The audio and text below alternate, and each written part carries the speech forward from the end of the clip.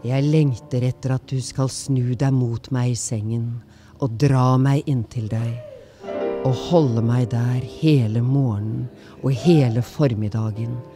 Og at du skal komme inn i meg igjen og igjen, så den sulten nederst i magen skal fylles og mettes.